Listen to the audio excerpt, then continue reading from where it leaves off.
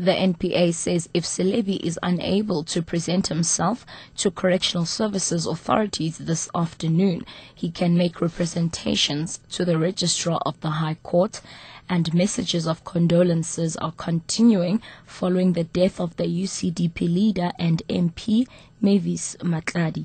Ambosisiwa with the latest news update. The National Prosecuting Authority says if former National Police Commissioner Jackie Selebi is unable to present himself to Correctional Services authorities this afternoon, he can make representations to the Registrar of the High Court. It says he can ask that there be a delay on the date on which he must hand himself over. Selebi must hand himself over to the Johannesburg prison authorities to start his 15 year jail term. However, he's been admitted to a Pretoria hospital after he collapsed upon hearing that the corruption conviction appeal in the Supreme Court of Appeals in Bloemfontein had been dismissed. Friends and family members have been visiting the former top cop in the Jacaranda Hospital in Pretoria.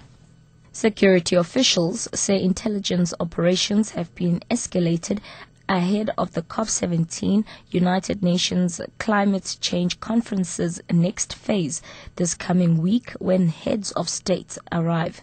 Officials say they are pleased that there have been no serious incidents reported since the beginning of the conference at the Inkosi Albert Luthuli International Convention Center in Durban. Police spokesperson Vishnu Naidoo.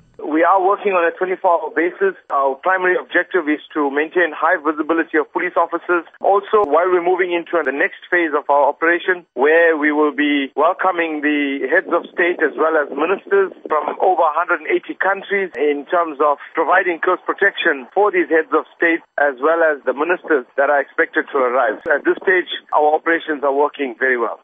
The IFP in KwaZulu-Natal has elected new faces to lead the party in the province. Former Umzinyathi Mayor Bangiseni Nyengwa has been elected as provincial chairperson, while Mayor of Hlabisa municipality on the northern part of the province, Velenkosi Hlabisa, has been elected as secretary. The conference that was attended by scores of party members in the province also took stock of the party's poor performance in the May municipal elections, in which it lost a number of municipalities to the ANC NFP coalition. Meanwhile, the elections for the new provincial executive committee continued until midnight.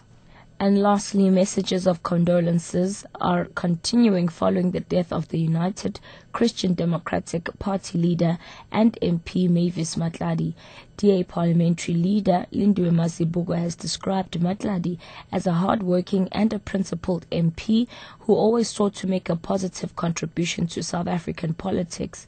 African Christian Democratic Party leader and MP, the Reverend Kenneth Meshoe, says Matladi's wise counsel and lively contribution during parliamentary debates will be greatly missed. Matladi died at Milpark Hospital in Johannesburg on Friday after a short illness. She was 53. Matladi's death comes shortly after the death of an ANC Member of Parliament, Mavis Magazi. Catch the latest news anytime here on Newsbreak, option 1.